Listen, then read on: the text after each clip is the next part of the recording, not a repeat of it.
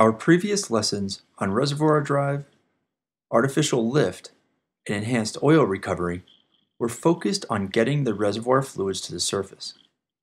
Once the fluids are produced, several steps are necessary to get the hydrocarbons ready for sale. The hydrocarbons must be separated, treated, processed, gathered, and stored. This lesson will discuss the processes and surface facilities used to perform these tasks. Reservoir fluids produced at the wellhead are a complex mixture of liquids, gas, and solids. An oil well often produces small amounts of natural gas along with salt water. And natural gas production often includes salt water and liquid hydrocarbons. The solids produced can include sand, scale, and shale sediments. The solid matter must be removed before the oil and gas are separated into specific streams.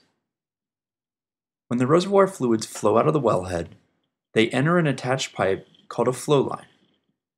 The fluids pass through the flow line into a hollow steel vessel called a separator.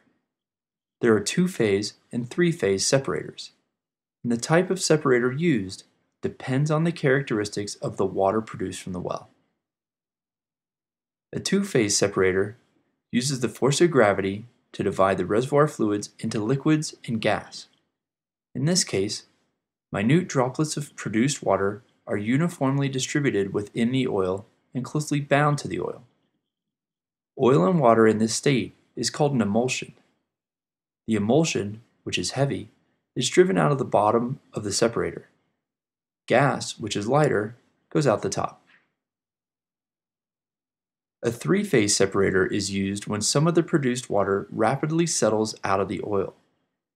This type of water is referred to as free water. Here, free water goes out the bottom of the separator.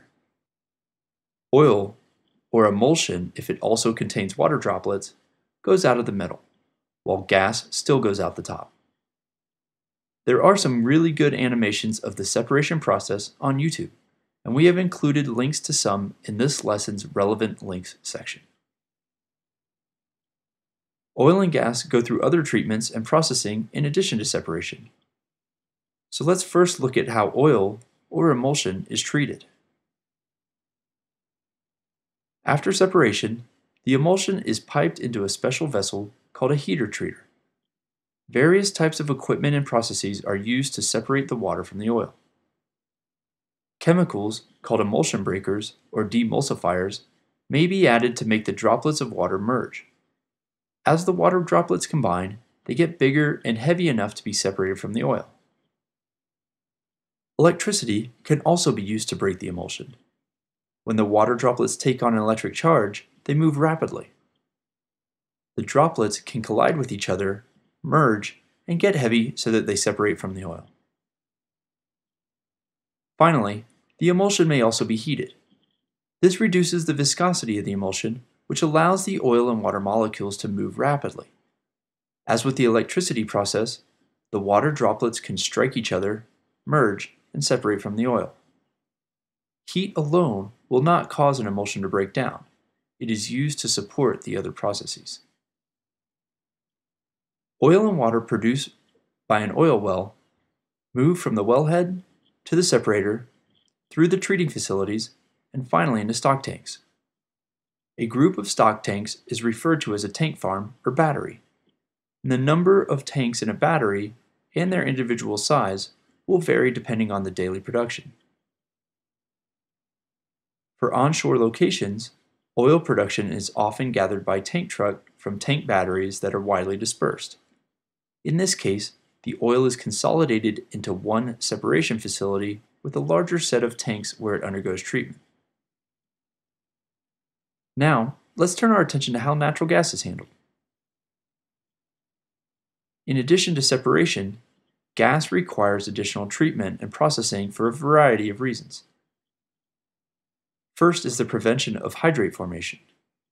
A hydrate is a solid crystalline compound formed by hydrocarbons and water under reduced temperatures and pressure as it leaves the wellhead.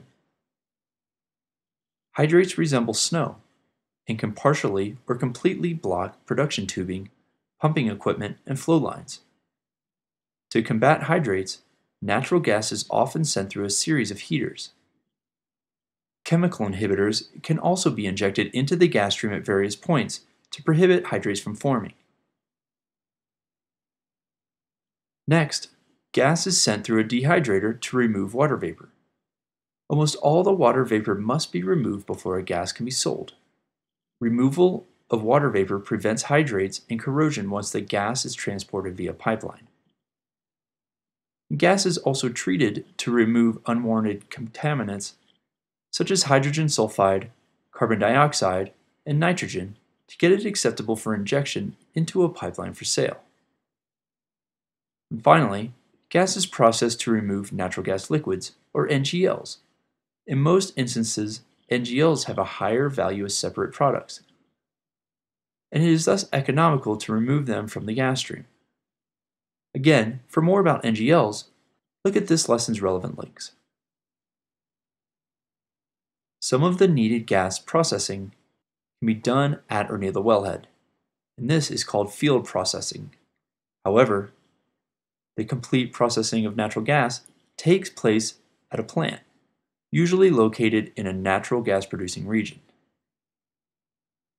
We've addressed how oil and gas are separated, treated, and processed to get ready for sale. Now, let's discuss how the hydrocarbons are moved from the well site. Once field treatment and processing is completed, oil and gas moves into a gathering system of low pressure, small diameter pipelines. The gathering system transports and controls the flow from the wells to a main storage facility, processing plant, or shipping point. There are two types of gathering systems, radial and trunk line. The radial type brings all flow lines into a central header. The trunk line system uses several remote headers to collect oil and gas and is used most often in large fields that cover a large geography. For natural gas, the gathering system transports the gas to a processing plant that produces pipeline quality gas that can enter the pipeline distribution system. Oil is transported by the gathering system either to storage, the pipeline distribution system, or a marine vessel loading facility to be sold to a third party or taken to a refinery to be processed into refined products. One final important topic related to handling production at the surface is the disposal of produced water. We've seen throughout this lesson that the separation of salt water from the other reservoir fluids is an integral part of the oil and gas production operation. The produced water itself has to be treated and disposed of in an appropriate manner. Produced water is often pumped into a well specifically drilled for reinjection into the reservoir. In addition to disposing of the water, this helps maintain the reservoir pressure. Produced water can also be reinjected as part of an enhanced oil recovery project or utilized in hydraulic fracturing projects. If no other alternative is available, produced water may also be trucked or pipelined to a certified water disposal facility. Disposal of produced salt water is regulated by state oil and gas commissions.